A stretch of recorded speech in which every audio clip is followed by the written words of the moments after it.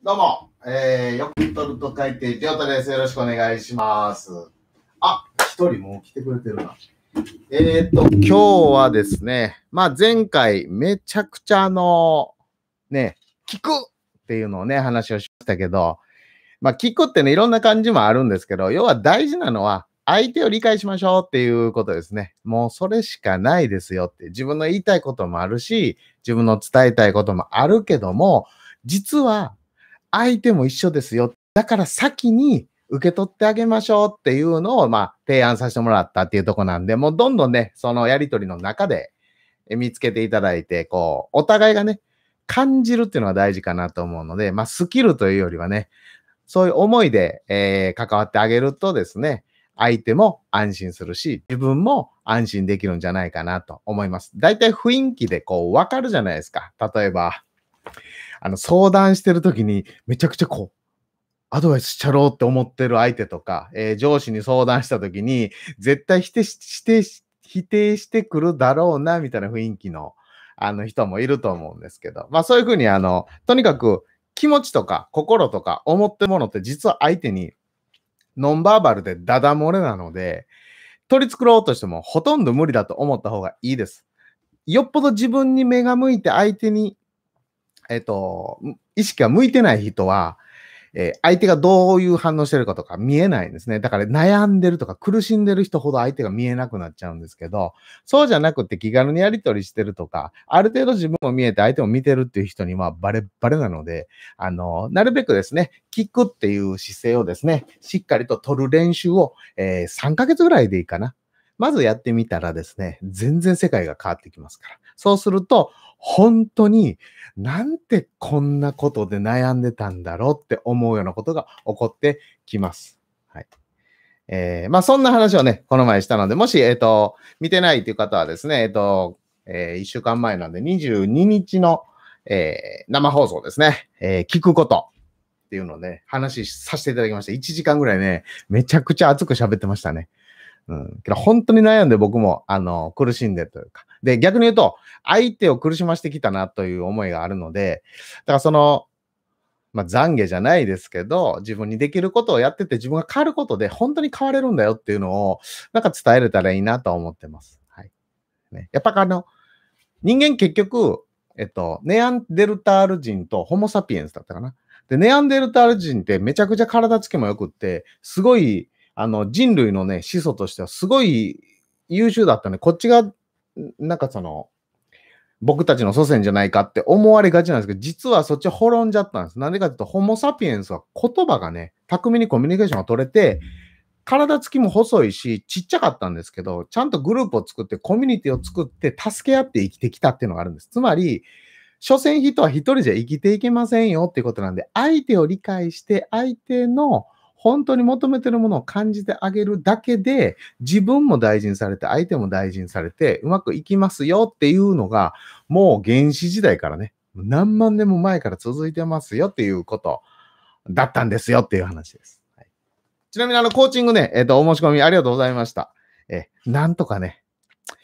えー、変わりたいという方がいるんだなっていうのに僕はもう安心しましてね、えー、ちょっと楽しくね、やり取りさせていただいてますので、まあ、興味ある方は、えっ、と、また3人ぐらい、えー、募集追加でしようかなと思ってますので、えっ、ー、と、LINE アットの方ね、えー、いただいたり、もしくは、えコメント直接いただいたりして、えやっていきましょう。で、あの、もうこの機会しかないかなと思うんですけどね、非常にコーチングってね、楽しく、え自分と向き合って、そして、え自分の本当に気づいてないようなことに自分で気づく機会をね、作れるんです。忙しい毎日ね、コロナでいろんなことがストレスが溜まってできない、できないってこう視野がどんどん狭くなってる中で、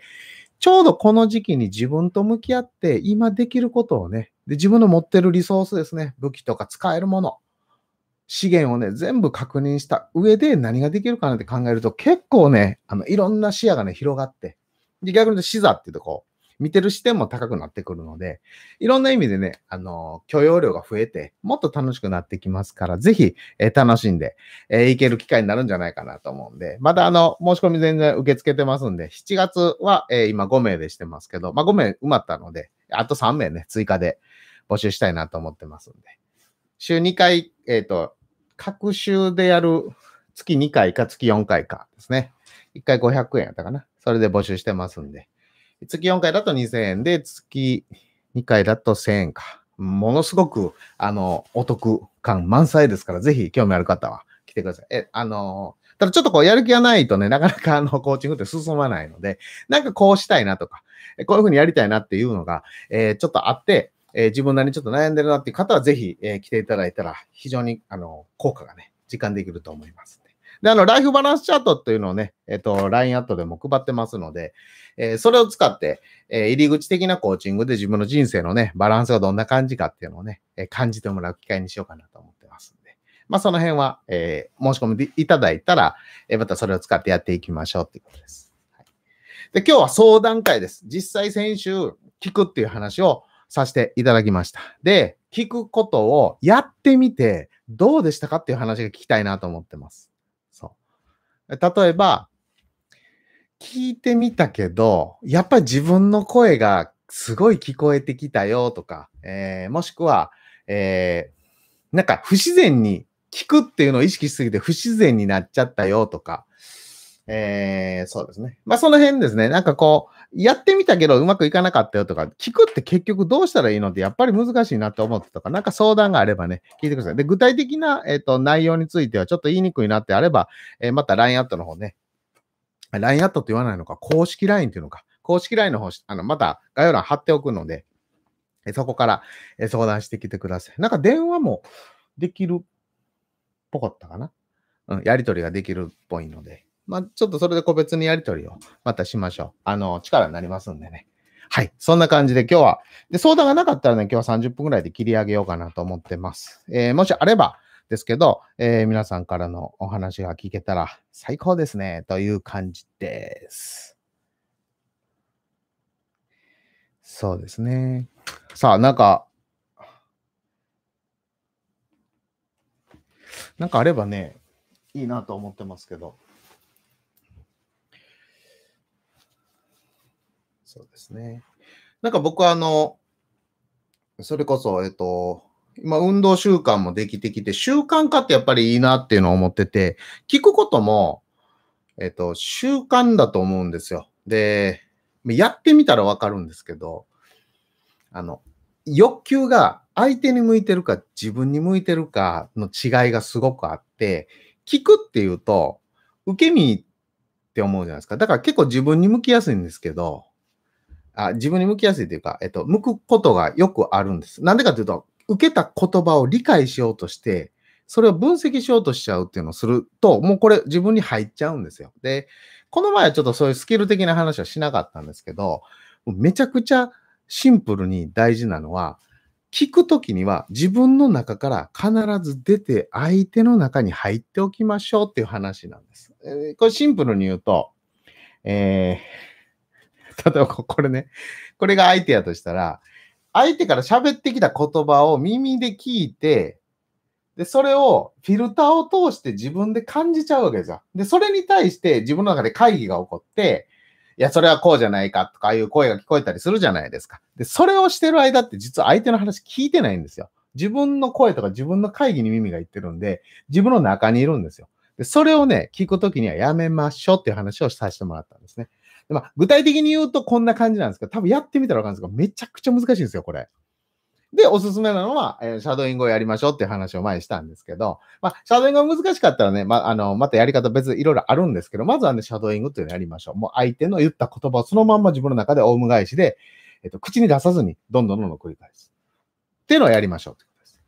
で。それをまずやるだけで無心になるんで、相手の言った言葉だけにひたすらする。あの、理解しなくていいです。あの、感じるようになれるんで、相手の気持ちとか感情っていうのが。だから声の変化とか、音の変化とか分かってくるんで、人間ってすごいんですよ。本当にいろんなものを感じる能力っていうのはいっぱいあるんですけど、現代になると、どんどん使わなくなってしまって、例えば対面のコミュニケーションが減ってるでしょ。で、えっと、メールとかになって表現するの少なくなってるでしょ。で、家族間でも話さなくなってきたりとか、えっ、ー、と、とにかく自分で何でもできると思って、情報を自分で拾うと、その情報ってほとんど無機物なんですよ。動画とか、えー、本とか。あれって生きてないわけですよ。生きてる人は喋ってるのを見てるだけなんで。だから感じ取る技術っていうのはどんどん少なくなって、上辺だけ、言葉だけとかを理解しようとする方になって、それが賢いとかっていうふうに勘違いされだしたんです、本当は感じれる人が強いんです。だから動物とか、めちゃくちゃ、あの、第六感じゃないけど、こうセンサーみたいなのがすごい鋭いから生き延びれるんですよ。人間で生き延びれないのは、そういう危機にさらされてないし、使う必要がないから、どんどん退化して、目とかね、あとは、あの、なんていうんですか、あの、処理する脳の方だけをこう、鍛えようと、鍛えようとして脳が大きくなってますけど、もっと大事なのは、やっぱり感じるということ。で、それも実は脳なので、そういうのを、えーもう一回鍛え直すというかね、えー進化させていくというか、成長させていくには、日々習慣として意識してやっていく。意識してやっていくっていうのは、これ何回も言ってるんですけど、意識しないと、えー知らないとできない。意識してもできない。意識してなんとかできそう。意識せんでもできるようになるっていう。まあ、で、もう一個教えれるっていうのがあるんですけど、4段階目が楽なんですよ。あの、要は僕みたいにこう習慣化してくると。えっ、と、ウーバーイーツするとか、自転車40キロ乗るとか、最初はしんどいですけど、慣れたら楽しいし、で楽しくなるように持っていくだけですし。で、一番しんどいのは、知らないとできないとき楽なんですよ。知らないから。できなくても気にならないです。一番しんどいのは、なんとか意識してできないときと、意識してなんとか必死でやっててできてるとき、これしんどいです。ここを抜けるのに、下がるか上がるかですけど、楽なのは下がるなんで、結局、なかったことにする。見なかったことにする。知らなかったことにする。挑戦してないことにするみたいにして、大体皆さん流しちゃうので、それをやらずにね、上に上がる、こう、習慣化のために、えー日数をね、途中ストップしてもいいですから、また進む。また進むってやってったら、必ずね、この習慣化ってところに行きますからね、そこはね、やっていきましょうっていうところですね。さあ、今日は聞くスキルについて、聞くスキルじゃない、聞くことについてね、えこの前、しっかり話をさせてもらって、実際のところ、どうでしたかっていう話が聞けたらなと思って、えー楽しみに来てますが、さあ、どうですか？皆さん、なんか、話になりますか？僕何の話しとったかな今。あ、ちなみに僕ね、えーっと、ちょっとね、最近すごいマニアックな本、マニアックな本って言われるな。えーっと、面白い本を見つけてね、今すごいもう興味津々で読みまくってるんですけど、ちょっとこれ紹介していいですか？これね、これ面白いっすね。このアドラー心理学の臨床心理学入門。結構、今までこういうそのアドラーのベースの本とかもちょこちょこ見てきたんですけど、これは、うん、そうですね。もう一回、ちゃんと体系的に整理できて、で、実際使おうと思ったら、あのーどの本やったかな？めっちゃ面白い本があったけ？ど。あ、なちょっとどこ行ったなどこ行ったかまあ、別の本があるんですけど、あの、おすすめの本は他あるんですけど、この本はとにかくアドラーをちょっと知ってきて、なんとか、なんとなく漫画で知ったとか、えドラマで知ったとか、なんとか分かったなってなった後、もう一回頭の中で整理するのに、え心理学の歴史とか、アドラーが本当は何を言いたかったのかとか、でその上でどういうふうにスキルを使って整理していったらいいのかとか、自分が何をしていこうかっていうのがセクションで分かれてるので、一個一個本当に深く、え例えばライフタスク、ね、どんなタスクが大変かとか、どんな人を幸せにしていったらいいのか、自分はどうあったらいいのかってあり方についてとかも全部書いてくれてるんで、で、これをもとに、ここから、えブリーフセラピーですね、えーとか、えーソリューションフォーカスアプローチとか、ああいう本の方に行ってもいいし、えー7つの習慣に入ってもいいし、で、えっと、当然、アドラーが影響を受けた哲学者は僕は好きな人いっぱいいますけど、ニーチェとか、えービクトリー・フランクルさんとか、ああいう人、あ、逆か。ビクトリーさんは弟子か。の、なんか関連本とか読んでいくと、どんどんね、繋がってくるんで、だから、アドラー心理学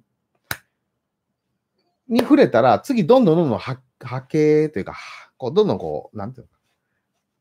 繋がっていくものにね、えっ、と、目を伸ばしていくと手を伸ばしていって、エッセンスをね、全部盗まなくていいと思います。こう、自分に入りやすいエッセンスだけ取っていくのがいいと思うんです。そしたら、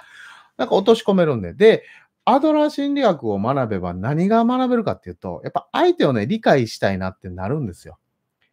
で、何のためにするかっていうと、相手を理解しようとしてる自分も好きになれるし、相手のためにもなれるし、で、相手のことも好きになれるよってなったら、私たちは仲間だよって、共同体だよっていう世界が見えてくるんですよ。そしたら、足を引っ張り合おうってならないんですよ。成長し合おうねってなるんですよ。そういう思想というか思考になれるだけで、心が豊かになるんで余裕ができるんですよ。そしたら、病むこともなくなってくるし、元気になる可能性が高くなるんですよ。支え合いとか助け合いが当たり前になるんで、こういう習慣ができるようになるんじゃないかなと思ってるんで、ぜひ、あの、アドラー心理学に触れるっていうのをやってほしい。だから、切られる勇気とか、えー、ね、あの、幸せになる勇気とかね、ありましたけど、まあ、ああいう本から入ってもいいんで、その後、ちょっと深い本とかね、見るとか。で、子育ての本とか、やっぱり秀逸なアドラーの本があるので、そういう本に行くとか、あと山崎さんのね、書籍なんかめちゃくちゃわかりやすいので、山崎さんの本に行き着くとかして、えー、え山崎さんじゃない、岩井さんか。ごめん、あの、ヒューマンギルドのね、岩井さんの本とかすごくわかりやすいので、そっちに行くとかしてみたら、もっと、なんかあの、アドラーに触れる機会ができるんじゃないかなとか思ったりしておりますよ。ということで、えー、めっちゃ喋ってるとこきりないんで、ちょっと皆さん、皆さんなんかありますか？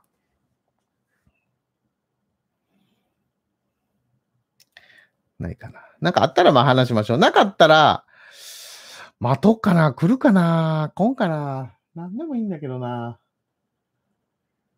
あでもやっぱアドラーの話、せっかくしだしたけど、アドラーの話しようか。えっと、アドラー心理学の本で、まあビジネスをしてる人で、えっと、めちゃくちゃわかりやすくて面白くて楽しくなるのは、小倉博さんっていう方の本です。これね、で、この赤いど、どっかにあるんだけどな、アドラーの100の言葉っていうのは、ね、もね、すいません、本を整理してないんでね、どっかに隠れてると思うけど、赤い本とかね、青い本とかあるんですよ。あの、アドラーの言葉をね、抽出して、あとこれね、えっと、続アドラー心理学トーキングセミナー、野田俊作さんっていう方のね、これとかめちゃくちゃわかりやすく、具体的にアドラー心理学ってこんなエッセンスでこういう風にやってったらいいですよっていうのを書いてくれて、子供との関わり方とか、勇気づけの仕方とか、人間関係どうやってったらいいですかっていうのをめちゃくちゃわかりやすく書いてるので、ぜひ、あの、ちょっと自分がしんどいなとか、えー、けど、なんかできることしたいなって、あの、ちょっとでも余力が、ちょっとでもですよ。ちょっとでもなんかやってみようかなって思える人は読んでみたらですね。非常に面白いです。で、あの、わかりやすくて面白いのはこっちです。だから、あの、ぜひ、えっ、と、後輩がいる人はこの本ですね。職場コミュニケーションの心理学。これとかもう最強にわかりやすいです。やっばいですよ。読んだ方がいいですね。論理的結末とか、課題の分離とか、わかりやすく書いてくれてるんで、これです。ぜひ。まあ、アドラ心理学はね、ちょっと読んだことない方はちょっと難しいかなと思いますけど、けど、絶対読んだ方がいい本の一つなので、あのー、で、それを読みながら、稲森和夫さんのね、生き方の本とか、えー、ビクトル・フランクさんの本とか、えー、スティーブン・コービーさんの本とかね、ああいう、あのー、ビジネス書とか、その哲学書とか心理学の本とかってどんどんどんどん広がってつな、だつながってくるんで、頭の中で。あれってこれのことやった。あれこんな思想やとか。人を動かすとかもそうですね。変わる。え？デル・カーネギーさんでしたっけ？あんな感じで、こう、どんどんどんどん、あの、物事って、やっぱりリンクしてくるんですよ。で、なんでかっていうと、お互いがお互いいいとこを刺激受け合ってて、言葉にはしてないけど、気づいたり感じたりしてるものが、こう集約されて、統合されて出てるだけなので。だから僕も全部が全身アドレリアンっていうわけじゃないわけですよ。ただ、いいなと思うものは取り込んでるよってで、理解できてないものは当然入ってないし、なので、え皆さんが日々ですね、どうありたいのか、どうしたいのかっていうのを考えて、実際それを求めれば、アンテナがね、見つけてくれます。本とか、えー、テレビとか動画とか、えー、そういうのを喋ってる人とか。そことね、また向き合ってたらいいだけなので、本当にね、シンプルに、あの、チャンスが訪れてきますから、ぜひ楽しんでやっていただけたらいいんじゃないかなと思います。ねえなかなか楽しんでますよね。さあ、え、20分か。誰も来ないか。まあ、今日のこの相談会は意外といつも少ないかなと思うけど、でもこの機会はね、やっぱ作ろうかなと思ってます。で僕もね、いろんなチャレンジを今してて、あのー、とにかく、えっ、と、自分の活動っていうのをね、広めていくために、まあ、一人でも多く、まずコーチングを、えー、感じてですね、えー、受けてもらって、えー、自分にとってそれがプラスなのかっていうのを、あの、体感してもらうのが早いかなと思ってます。で、実は自分のことが分かってるようで分かってない人のがめちゃくちゃ多いので、一人でわからないときは、人相談来たときって結構アドバイスしたら答えやすい、アドバイスこう求められたら答えやすいとかあると思うんですけど、自分のことになると、感情が混ざったり、こう、事実と感情がごちゃごちゃになって整理できないとかめっちゃ増えちゃうんですよね。だから、あのー、ぜひ、えっ、と、誰かに相談する形で、実は自分自身と向き合う機会ができるのはコーチングで、で、その中で気づいたときに、やらされるとかね、あの、無理やりこうせないかんとか一切なくって、全部自分で決めれるっていうのはコーチングのいいとこなんですよ。だから全部自分で決めるんだから、全部自分の思うように自分が本当にどうしたいのかを感じるのがまず大事だよねっていう機会にしてもらいたいなと思うんで。そしたらね、本当に救われたり、本当に楽になったりする人がいっぱいいるんで、ぜひ体感していただけたらいいなと思っておりますよ。はい。そこ今日あんまりいないなぁ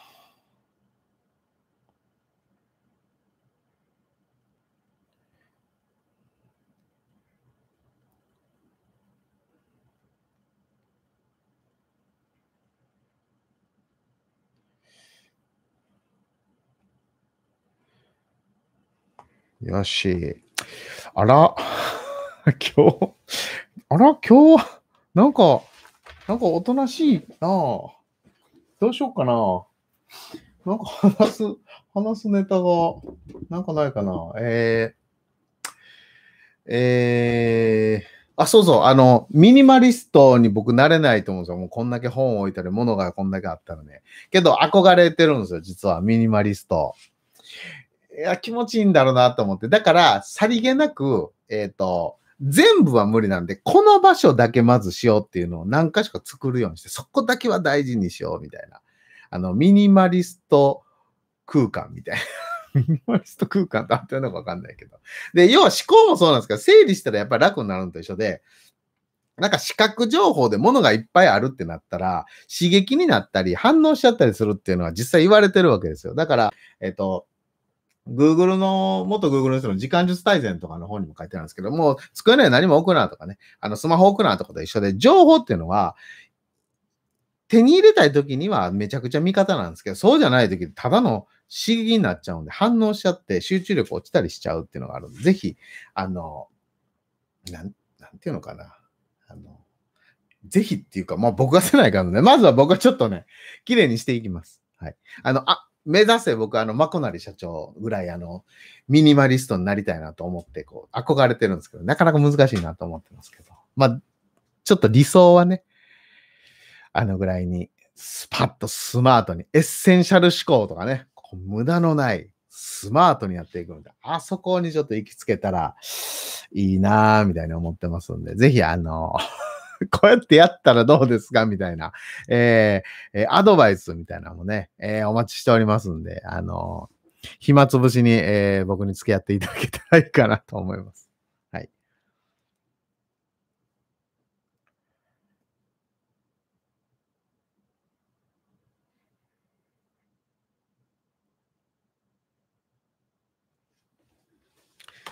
あら、今日はおとなしめだな。まあまあ、でもいいんです。あの、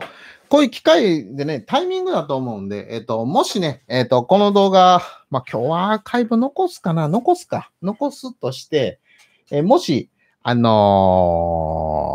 ー、まあ、この動画をね、えっ、と、後でアーカイブで見ていただいた方は、えコメントにね、えこんなんしてますけど、とか、あと個別のライアットの方で、また僕の方に連絡をいただいたら、えー、じっくりとお話を聞かせていただきますし、えー、なんならその後ね、コーチングの方を一緒にやっていきませんかっていう話をして、えー、ちょこちょこね、えー、決してお高くないのでね、あの、気軽にできるかなと思うんで、まずは、あの、せっかくね、コロナでおうち時間も増えて自分と向き合う時間もできて、できることが増えてるんで、あの、プライム、ん？プライムビデオでしたっけ？もう僕がめちゃくちゃ今誘惑されてる、あの、アニメたちとかね、あの、洋画、あの、なんだったかな、あれ。えー、えー、めっちゃ面白いな、この CIA のやつと思って。あー、出てこない。ジャック、あー、わからない。まあまあ、めっちゃ面白い、ジャック・ライアンですよ。めっちゃ面白いんです、あれ。あ、もうぜひみんなにお勧めしたいな。ジャック・ライアン面白いなと思って。まあ、知らない方もいるかもしれないですけどね、CIA のジャック・ライアンっていう、こう、分析官がいるんですけど、その人がね、もっと海兵でみたいな、こう楽しくやるわけですよ。で、なんかいろいろその人間模様とか思考とか人間関係のあり方とか、勉強になるなと思って。だから僕、だらだら動画見ずに、その動画で、これアドラー心理学的にこうだなとか、あ、これ7つの習慣でいうこうだなとか考えながら言って、まあ話したりするときのネタにしてるので、まあ興味ある方はね、ぜひあの、プライム見てほしいんですけど、あれ見ると時間がっつり奪われちゃうんで、あの、自分のやるもの、優先するものがあった上で、あの、マインドフルネス効果とかね、もしくはそういう実際に経験の中で実践していくためのエッセンスとしてやっていただいたら面白いんじゃないかなと思ってます。さあ、今日あと5分ぐらいですね。今日は質問がなければもう終わりますけど、えー、相談ですね。今日は聞くっていうのを相談していただきたいなと思ってます。えー、実際ね、えー、1日一人でいればそれはほとんど聞くことってないと思うんですけど、例えば家族がいる人、もしくはパートナーがいる人、もしくは職場、ね、学校でも何でもそうですよ。どんなところでもね、えー、人と関わる上ではコミュニケーションというのは必要になってくるので、話すか聞くか、どっちかにどうしてもなっちゃうんですね。その時になるべく積極的に聞く方に行きましょうっていう話をさせてもらってます。なんでかっていうと、人は自分を知ってもらいたいし、自分のことを伝えたいし、自分が大事なので、それを満たしてくれると感謝してくれるんですね。で、それを満たしてくれた人には、なんかお礼したいなっていう気持ちになりやすいんです。もしくはオープンハートになりやすいんです。だからそうなると安心安全の提供してる人っていうのは何が起こってくるかっていうと、あ、この人は信頼できるなっていうふうになりやすいんですね。そうなってくれば当然上司とかね、先輩っていう人はそれをしていくだけで、下の子は職場環境が安心安全な場になりやすくなるんで、やりたいことができやすくなるんですよ。だからやっていきませんかという話をしてるので、まあもしそういう手法、まあ手法というか選択をしてみてね、あの、不具合があった、こうだったとかもあったらまた教えてください。まずね、ないと思いますね。あの、聞くっていうのをしていくと。で、逆に言うとすごく楽しくね、あの、時間が過ごせると思いますので、ぜひ、えー、楽しんでいただけたらなと思います。で、すごくあの、大変です。大変です。もう、ほんと僕、あのせいでハゲたんじゃないかなっていうぐらい大変でした。けど、自分のメッセージを無理やり相手にねじ込んで伝えて理解させようとするのの100倍楽でした。楽でした。もう本当に、その聞くっていうのを知ってって、相手の行動が勝手に変わってくるのを見ていったら、なんて楽な、こんなことでよかったのかっていうぐらい、人が変わるんですよ。